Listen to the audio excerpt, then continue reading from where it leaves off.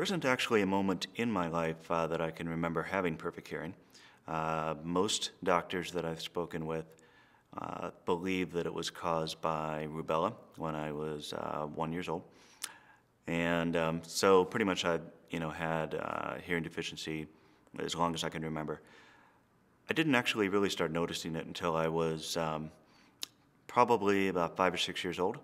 And I, I, can remember telling other kids on the playground uh, that, you know, I can't hear whispers. I can't hear secrets.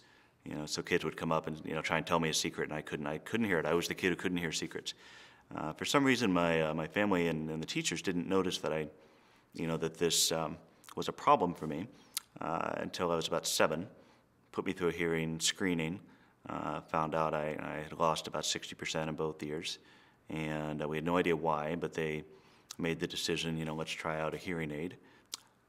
Wore that for a number of years and then, you know, entered my teenage years and, and uh, you know, went through a succession of hearing aids every two to four years. It was, you know, a new hearing aid, especially, you know, for kids, they're replacing the hearing aids on a regular basis. So uh, by the time I got to, to high school, I was on my fourth or fifth iteration of, a, of an aid.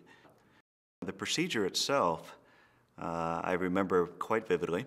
It was, um, I uh, was with Dr. Shohet, who really inspired a lot of confidence in me that the procedure was going to go well and that I would be well taken care of and that he was very qualified and uh, that he knew what he was doing and that the recovery, recovery would be very smooth. So uh, I remember checking in and being very well taken care of and provided for. Uh, I don't remember any pain associated with the procedure whatsoever. So uh, got home, spent a day in bed.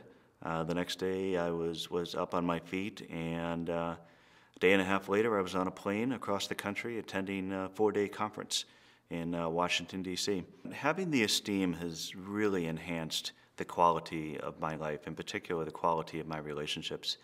Uh, I think about my interaction with my family. I have a wonderful wife of, I've known for almost 20 years, and I have uh, two young boys, a five-year-old and a two-year-old. And uh, the esteem has not only allowed me to be uh, more pragmatic in my daily interactions. For instance, I can hear when I'm sleeping. So, you know, if my uh, wife is out of town and uh, when the boys were young, I didn't have to worry about if one of them's crying in the middle of the night. You know, I could get up and attend to them. Uh, if I want to take my boys to the ocean, you know, go surfing, uh, I can do that. I don't have to be concerned that one of them's going to go under and start screaming for me and I can't hear them because I had to take my aids out before we went to the ocean. Another area where uh, the quality of my relationships has really improved is in the area of the workplace. Uh, my business relationships are uh, built on my ability to be confident in my communications uh, with the people that I have to work with, uh, including customers, associates, executives. Everything in that interaction is built on trust. So when you speak to these customers, when you speak to these individuals, you have to represent a position of trust, that they can trust you, that you can trust them, that you're bringing credibility. And if they don't perceive that you're listening to them, even if you're trying to listen to them, if they don't perceive that you're hearing what they're saying, they're not going to trust you. And I was able to, uh, as sales director in my region for that uh, year period of time, was actually able to grow our territorial revenue by 20% quarter over quarter, which indicated to me uh, that my customers trusted me. The esteem, in many ways, has given me the ability to always be confident. Uh, I'm an amateur triathlete. I've done, um, I don't know, something like maybe 10 to 15 uh, triathlons over the years and, and other various events, you know, half marathons and 10Ks and 5Ks. It is very difficult to jump into an ocean with 5,000 other people and swim a mile and not be able to hear.